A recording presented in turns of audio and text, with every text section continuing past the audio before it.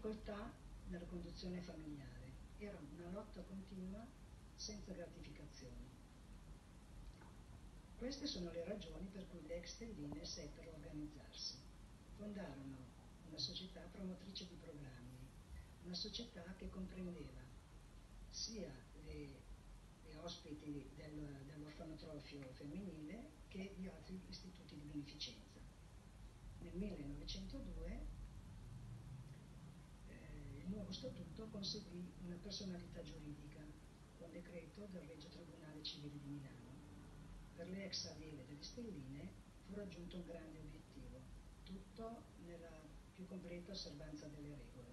Venne stabilita una tassa di iscrizione e per le socie effettive l'obbligo di iscrizione alla Cassa Nazionale di Previdenza per l'invalidità e la vecchiaia.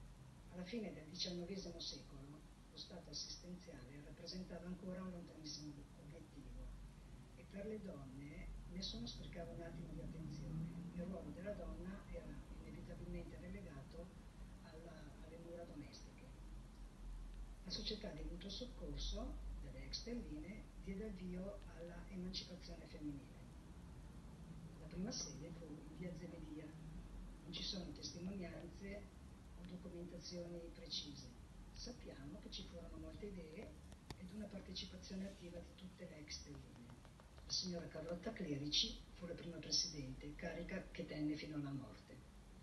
Per l'intensa attività ci fu presto la necessità di trovare un nuovo alloggio arrivò nel 1933 un'offerta per una nuova sede in Corso Magenta a Milano, offerta eh, messa a disposizione dall'istituto.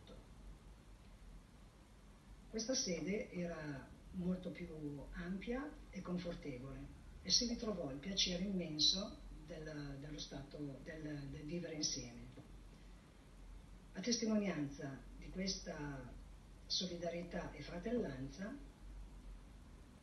nacque nel 1933 l'idea di, di costituire l'unione fra le stelline, che non si limitasse più allo stato economico e assistenzialistico, ma che abbracciasse quello molto più vasto dell'anima.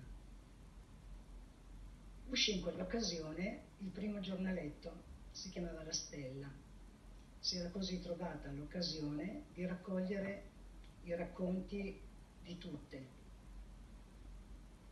i momenti di gioia, di spensieratezza, ma anche i momenti tristi, unite nella stessa comunione di affetti e di ricordi, poterono così ancora trovarsi nella grande famiglia della stella. Sagge, laboriose, ubbidienti ma capaci di affrontare la vita, le difficoltà della vita. Si legge nelle documentazioni di archivio che i benefattori auspicano per queste giovani orfane migliore vita economica ed esistenziale e materiale, che abbiano aria, luce e riposo, cure e affetto vero, quell'affetto dimenticato o perduto. Ora siamo eh, negli anni 70 alla stella si affacciano nuove forme di bisogno, non più riconducibili alla mancanza dei genitori o eh, a difficoltà economiche, ma a disagi psicologici relazionali. Le stelline respirano i conflitti sociali anche se all'interno del palazzo. Lo spirito nuovo abbatte i muri, apre le porte e le stelline vengono trasferite nelle due comunità famiglia di via Poma e di via Curtatone le ragazze tolgono i panni di Stellina e sono come le altre compagne milanesi. Palazzo che ha accolto le stelline per secoli, ora dal 1980 è sede di incontri, di scambi e di iniziative culturali e dal 1986 si è costituita la Fondazione Stelline con il compito di promuovere iniziative culturali Ora vogliamo ricordare e ringraziare le presidenti dell'ex Stelline. Sono Carlotta Clerici, Bonaccina Alice, Esther Barberis, Meregali Antonietta, Zani Vittoria, Irene Louet, l'ultima nostra presidente dell'associazione, un personaggio che che ha saputo tramandare con discrezionalità una tradizione secolare in fatto di solidarietà verso i minori in difficoltà. A lei vanno i nostri migliori ringraziamenti. Grazie a lei. Quindi ringraziamo Silvia Musazzi, vicepresidente dell'associazione. Bene, dopo il presidente.